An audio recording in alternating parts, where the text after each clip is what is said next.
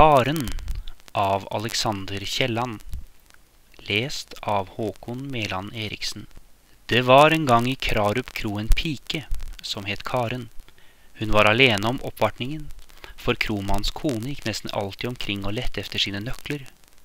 Og der kom mange i Krarup kro, både folk fra omegnen som samledes når det mørknet om høstaftenen og satt i krostuen og drakk kaffepunsjer, sådan i alminnelighet uten noen bestemt hensikt men også reisende og veifarende som kom trampende inn blå og forblåste for å få seg noe varmt som kunne holde livet oppe til neste kro. Men Karen kunne allikevel klare det hele, skjønt hun gikk så stille og aldri syntes å ha hastverk. Hun var spinkel og liten, ganske ung, alvorlig og taus, så det var ingen morskap ved henne for de handelsreisende. Men skikkelige folk som gikk i kron for alvor, og som satte pris på at kaffen servertes hurtig og skoldende het, de holdt desto mere av Karen. Og når hun smøg seg frem mellom gjestene med sitt brett, vek de tunge vadmelskropper til side med en uvanlig fart. Det ble gjort vei for henne, og samtalen sluknet for et øyeblikk. Alle måtte se efter henne, hun var så nydelig. Karens øyne var av de store grå, som på en gang syntes å se langt og se langt, langt forbi, og øyenbrynene var høyt buet, liksom i forundring. Derfor trodde de fremmede at hun ikke riktig forsto hva de ba om, men hun forsto godt og tok ikke feil. Det var bare noe underlig over henne allikevel, som om hun så langt ut efter noe, eller lyttet, eller ventet, eller drømte. Vinden kom vestenfra over lave sletter. Den hadde veltet lange, tunge bølger henover Vesterhavet. Salt og våt av skum og fråde hadde den kastet seg inn over kysten.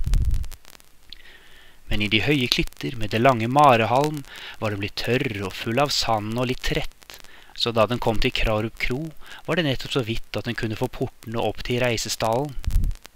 Men opp for de, og vinden fylte det store rom og trengte innad kjøkkendøren som sto på klem og til slutt ble det et sådan press av luft at portene i den annen enden av stallen også sprang opp, og nu for vestenvinden triumferende tvers igjennom, svinget lykten som hang i taket, tok luen av stallkaren og trillet den ut i mørket, blåste teppene over hodet på hestene, blåste en hvit høne ned av pinnene opp i vanntrauet.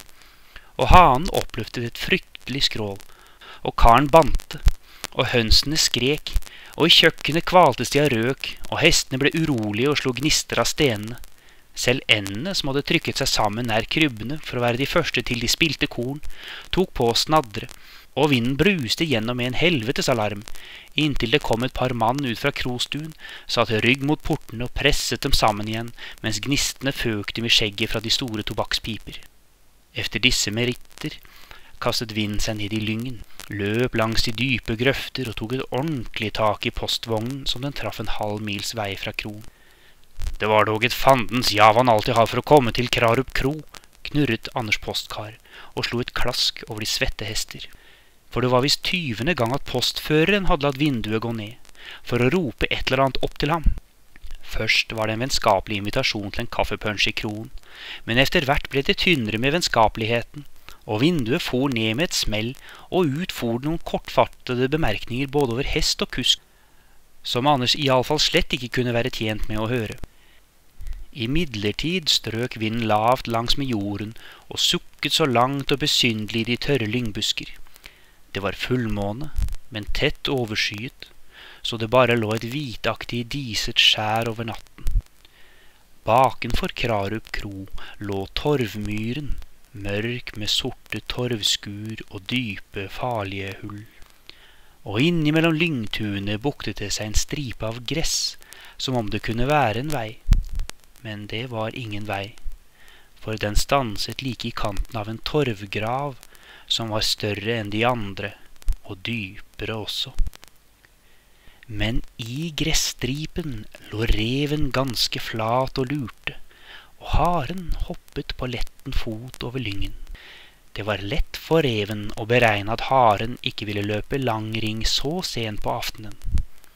Den stakk forsiktig den spisse snute opp og gjorde et overslag, og idet den lusket tilbake følgende vinden for å finne et godt sted, hvorfra den kunne se hvor haren ville slutte ringen og legge seg ned, tenkte den selvbehagelig over hvorledes revene bestandig blir klokere og harene bestandig dummere og dummere. Inne i kroen var det usedvanlig travelt, for et par handelsreisende hadde bestilt harestek. Dessuten var kromannen på auksjon i Tisted, og madammen var aldri vant til å stelle med annet enn kjøkkenet. Men nå traff det seg så uheldig at sakføreren skulle ha fatt i kromannen, og da han ikke var hjemme, måtte madammen ta imot en lang beskjed og et ytterst viktig brev, hvilket aldeles forvirret henne. Ved ovnen sto en fremmed mann i oljeklær og ventet på en flaske sodavann. To fiskeoppkjøpere hadde tre ganger rekvirert konjakk til kaffen. Kromannens kar sto med en tom lykt og ventet på et lys, og en lang, tørr bondemann fulgte karen engstelig med øynene.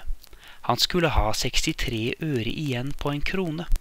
Men karen gikk til og fra uten å forhaste seg og uten å forvirres.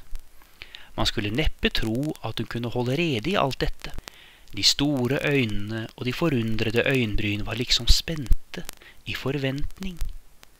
Det lille, fine hodet holdt hun stivt og stille, som for ikke å forstyrres i alt det hun hadde å tenke på.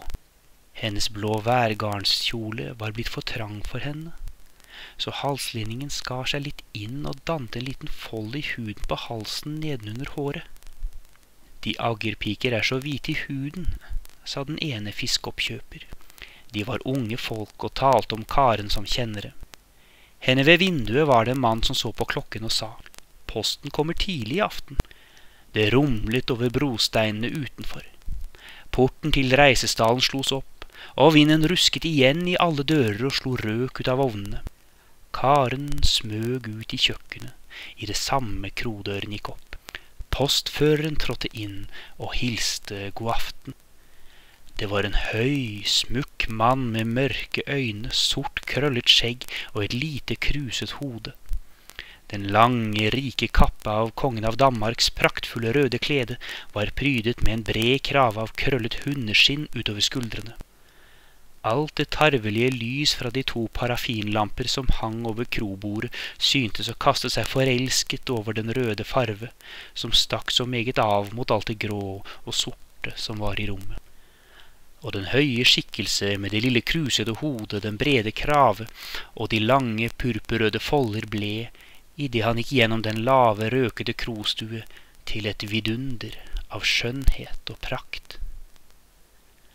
Karen kom hurtig inn fra kjøkkenet med sitt brett.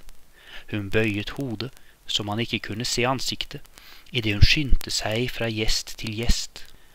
Haresteken plasserte hun midt foran de to fiskeoppkjøpere hvorpå hun brakte en flaske sodavann til de to handelsreisende som satt i stuen innenfor.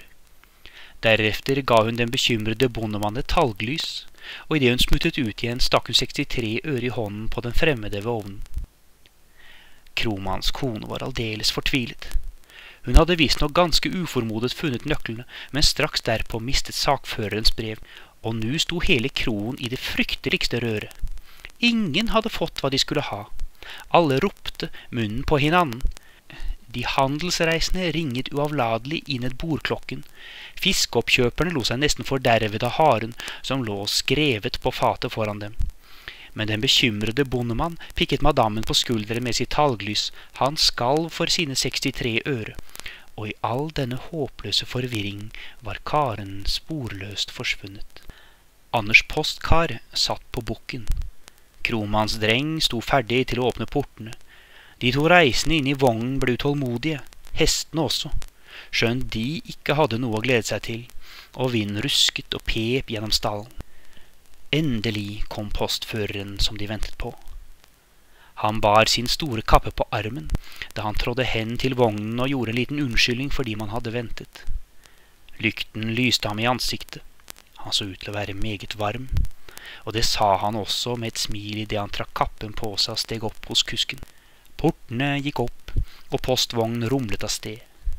Anders lot hestene gå smått. Nu hadde jo ingen hast mere. Av og til skottet han til postføreren ved siden. Han satt ennå og smilte hen for seg og lot vinden ruske seg i håret. Anders Postkar smilte også på sin måte. Han begynte å forstå. Vinden fulgte vognen til veien vendte, kastet seg derpå igjen innover sletten og pep og sukket så langt og besynderlig i de tørre lyngbusker. Reven lå på sin post, alt var på det nøyeste beregnet, haren måtte snart være der. Inne i kroen var Karen endelig dukket opp igjen, og forvirringen dempetes efter hvert. Den bekymrede bondemann ble kvitt sitt lys og fikk sine 63 øre, og de handelsreisende hadde kastet seg over steken. Madammen klynket litt, men hun skjente aldri på Karen. Det var ikke det mennesket i verden som kunne skjenne på Karen. Stille og uten å forhaste seg gikk hun igjen til og fra, og den fredelige hygge som alltid fulgte henne, bredte seg atter over den lune, halvmørke krostue. Men de to fiskeoppkjøpere som hadde fått både én og to konjakker til kaffen, var ganske betatt av henne. Hun hadde fått farve i kinnene og et lite halvskjult glimt av et smil, og når hun en enkel gang løftet øynene, for dem gjennom hele kroppen. Men da hun følte at deres øyne fulgte henne, gikk hun inn i stuen, hvor de handelsreisende satt og spiste, og ga seg til å pusse noen teskjeer borti skjenken. La de merke til postføreren, spurte den ene av de reisende. Nei, jeg så bare et glimt av ham, han gikk visst straks ut igjen, svarte den annen med munnen full av mat. Satans skjønn fyr, jeg har som en danset i hans bryllup. Så, er han gift? Ja visst. Hans kone bor i Lemvik, de har visst to barn. Hun var datter av kromannen i Ulstrup, og jeg kom just der til bryllupsaftenen. Det var en lystig natt, kan De tro. Karen slapp teskjeene og gikk ut. Hun hørte ikke hva de ropte til henne i krostuen. Hun gikk over gården til sitt kammer, lukket døren og begynte halvt sanseløst å ordne sine sengklær. Hennes øyne sto stive i mørket. Hun tok seg til hodet. Hun tok seg for sitt bryst, hun stønnet. Hun forsto ikke, hun forsto ikke. Men da hun hørte madammen så ynkelig rope Karen, bitt Karen! Da for hun opp, ut av gården, om baksiden av huset, ut, ut i heden. I halvlyset buktet en lille gresstripe seg mellom lyngen, som om det kunne være en vei. Men det var ingen vei. Ingen måtte tro det var noen vei, for den førte like i kanten av den store torvgrav. Haren skvatt opp den hadde hørt et plask. Den for av sted som om den var gal, i lange hopp, snart sammentrukket med benene innunder seg og ryggen krum, snart utstrakt utrolig langt, som et flyvende trekkspill, hoppet den av sted over lyngen. Reven stakk den spisse snute opp og stirret forbauset efter haren. Den hadde ikke hørt noe plask for dem har kommet etter alle kunstens regler smygende på bunnen av en dyp grøft, og da den ikke var seg noen feil bevisst, kunne den ikke begripe seg på haren. Lenge sto den med hodet oppe, bakkroppen senket og den store, buskede hale gjemt i lyngen, og den begynte å tenke over om det er harene som blir klokere, eller revene som blir dummere. Men da vestenvinden hadde løpt et langt stykke, ble den til nordenvinden, siden til østenvinden, derpå til sønnvinden, og til slutt kom den igjen over havet som vestenvinden, kastet seg inn i klitten og sukket så langt og besynderlig de tørre lyngbusker. Men da manglet det to forundrede grå øyne i Krarup kro og en blå værgarnskjole som var blitt for trang. Og kromannens kone klynket mer enn noensinne. Kunne ikke forstå det. Ingen kunne forstå det, unntatt Anders Postkar og en til. Men når gamle folk vil gi ungdommen en riktig alvorlig advarsel, pleier de gjerne å begynne således. Det var en gang i Krarup kro en pike som het Karen.